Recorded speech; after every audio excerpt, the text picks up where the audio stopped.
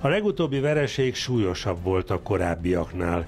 Alig hagyott reményt arra, hogy akik most alul maradtak, azoknak legközelebb azért lehet esélyük. Mi van akkor, ha csak nem egy fél ország süllyed depresszióba? Az is kiderült, Európában a magyarok félnek a legjobban. Ezek az érzelmek és a hatalmi játszma eszközei? Csepeli György válaszol. Jó estét kívánok! Jó estét! Arról, hogy milyen módon dolgozzák fel a győzelmet és a vereséget a felek a választási eredmények ismeretében, arról elég sok szó esett az elmúlt két hónapban. Voltak éppen arról is beszéltünk, hogy itt a félelem milyen módon dominált és hogy hathatott a, a, a lélekre, itt volt Forgás professzor, elég hosszan beszélgettünk arról, hogy, hogy az embereket meg lehet ijeszteni, és ilyetőben az emberek hoznak olyan döntéseket, amik számukra sem feltétlenül racionálisak. De ez volt itt a, a választási eredmény okozója? Alapvetően a félelem, a migrációtól való rettegés, és annak a tudata, hogy majd Orbán Viktor vagy a kormány megvéd minket a félelmeinktől? Hát nyilvánvaló, hogy egy ilyen jellegű jelenség, mint ez a választási győzelem, ez nagyon sok tényezővel függhet össze. Én, hogyha az alaptényezőt akarnám megragadni, és ez túl van a választási eseményen, és egyébként tulajdonképpen ilyen transzisztoriás dolog, ez a szorongás. Tehát azt világosan kell látnunk, hogy a világ most egy olyan állapotba jutott, független attól, hogy hol él az ember Magyarországon, vagy Észak-Koreában, vagy egy Egyesült Államokban, hogy az a, az a fajta entrópiás helyzet, vagy, vagy káosz irányába mutató fejlemény, amit, ami korábban is megvolt, ez most úgy tűnik, hogy, hogy eléggé közelít. Nem azt mondom, hogy világvége van, de mindenképpen van egy világvége hangulat. És ez okoz egy, egy olyan ö, felfokozott érzelmi állapotot, egy negatív érzelmi állapotot, amelyen belül ezek az irracionális konstrukciók, amire ö, utalt, ezek messze menően előnyben vannak mindenfajta racionalitással. Tehát ilyen értelemben véve egy, egy általánosabb tendenciának vagyunk a tanúi itt Magyarországon, és meg kell mondjam, hogy még ez a ez, ez az esemény, ami itt bekövetkezett, ez, ez nem kirívó mert mégis nem voltak radikális, erőszakos kísérőjelenségek, és a szorongás ilyen értelme véve, ami áthatja a mi napi életünket, és ez nagyon látszik, hogy a győzteseknek nem örülnek a győzelmüknek, uh-huh. mert érzik, hogy, hogy valami más erő repítette őket vissza a hatalomba, ahonnan egyébként senki ki se repítette, mint sem a, a ügyesen kitalált választási stratégia, hiszen választási stratégia nem volt. Igen, ez valóban feltűnő, hogy sokkal kevésbé harsogóan boldogok a győztesek, mint hogy az volt 14-ben, vagy akár 2010-ben ugyanezzel a garnitúrával. És az is látszik, hogy sokkal nyilvánvalóbban estek letargiába a vesztesek, mint korábban. Tehát 14-ben még meg tudták magyarázni ezzel azzal, 10-ben világos volt, hogy a válság és az előző évek, most pedig van egyfajta tanástalanság, amiből egyetlen válasz látszik, hogy Orbán Viktor. Na de Orbán Viktor válasz mindenre?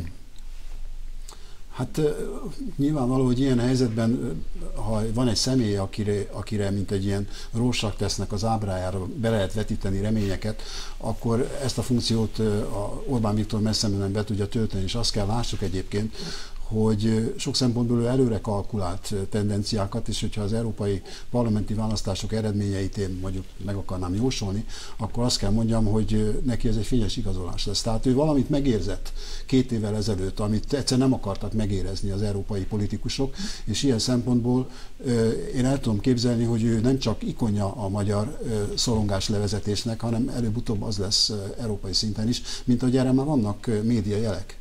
Előbb említette a világméretű szorongást a, a változástól, attól, hogy valami rossz következik be. Mi generálja ezt? Mi magunk generáljuk, például azzal, hogy erről sokat beszélünk, vagy vannak arra utaló jelek, hogy tényleg van mitől tartani? Ez egy antropológiai dolog, valahogy úgy vagyunk megkonstruálva, hogy az életünk az, ugye, ahogy Kész mondta, hogy hosszú távon nem érdemes tervezni, mert meghal mindenki.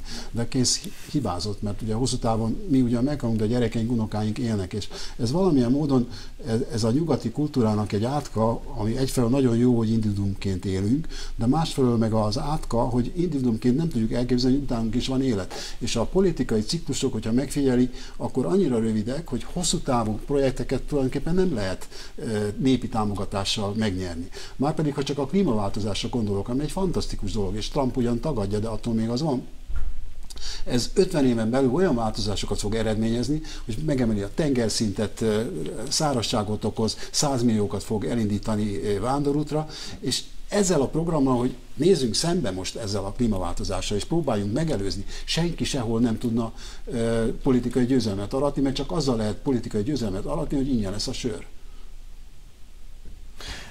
Ezt én értem, de ez valószínűleg így volt mindig is a világban. De csak sokkal volt, nagyobb ciklusokban éltek az emberek. E, hát egyrészt, másfelől pedig mondta, hogy nagyon kicsik a, a, az intervallumok, tehát hogy nem lehet hosszan tervezni. Régen azért lehetett, hiszen birodalmak voltak, majd lehetett, hogy nem függetlenül attól, hogy kivezeti volt őket. maga a konstrukció, tehát hogyha valaki mondjuk 1920-ba elment, a, megnézte a déli sarkot, a északi sarkot, majd visszament, nem ő, de valaki más 60 év múlva, akkor az ugyanaz volt. Ma már nem ez a helyzet. Az északi sark déli sark az szinte azt kell mondjam évente csökken és zsugorodik. Tehát voltak éppen az történik, hogy miközben nem veszünk tudomást a veszélyekről, amik ránk leselkednek, közben félünk a veszélyektől, amik ránk leselkednek, és inkább elbújunk a, a döntések elől, elbújunk hát a, a szembesülés elől? Magyar nép úgynevezett politika, hm, és igen. ennek egyébként nagy hagyományai vannak itt a, a magyar földön is, de úgy tűnik, hogy ilyen szempontból a, a föld asszimilálódik a magyar mentalitáshoz. Igen, politika. De ennek nagyon-nagyon meg fogja mindenki írni a levét. Nézzük egy kicsikét a saját szűk környezetünkre, Magyarországra. Mondja, hogy Orbán Viktor pozíciója az európai parlamenti választások nyomán vélhetőleg Európában sokkal erősebb lesz, és visszaigazolását fogja hát látni ez az annak. Igen, visszaigazolását fogja látni annak a politikának, amit az években, elmúlt években követett. Erre milyen válasza van másfajta politikai mozgalmaknak? Milyen ez válaszuk a, lehet? Hát ez a baj, hogy nincs. Ez a baj, hogy nincs. Tehát itt ilyen értelme véve Orbán azért tud érvényesülni, és azért megy előre ez a gondolatmenete, mert eh, ő megérezte ezt a szorongás típusú eh, levezetésben rejlő lehetőségeket, de pozitív válasza neki sincs.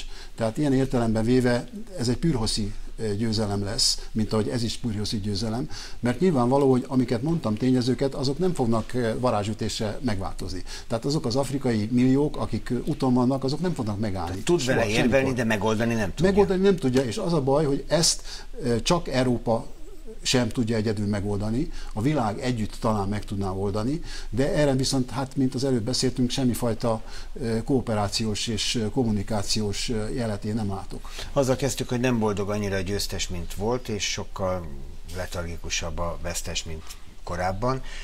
Mondja, hogy nincs az ellenzéknek válasza, vagy más politikai mozgalmaknak, ne is csak konkrétan a magyarországi ellenzékre.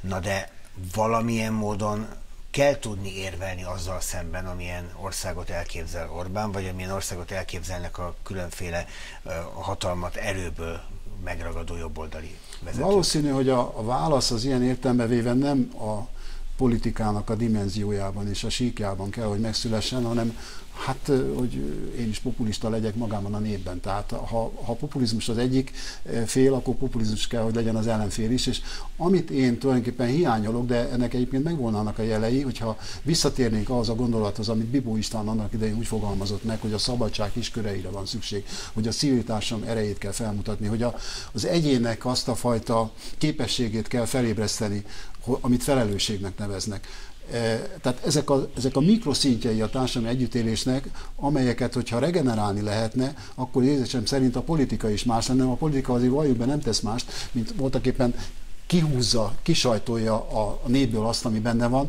de csak a maga érdekének megfelelően.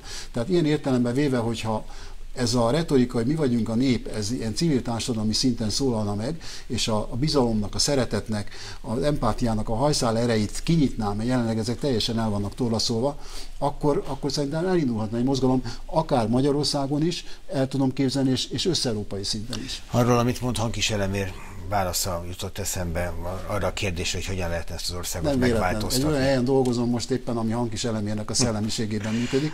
És ő pontosan... azt válaszolt erre a kérdésre, nem tudom, az megvan-e, hogy az országot sehogy magunkat tudjuk egyenként Igen, de Hankis Elemér eh, jegyében még a taxiban kitaláltam, hogy ezt fogom mondani, és nagyon örülök, hogy nem beszéltünk össze. Nem, nem, nem.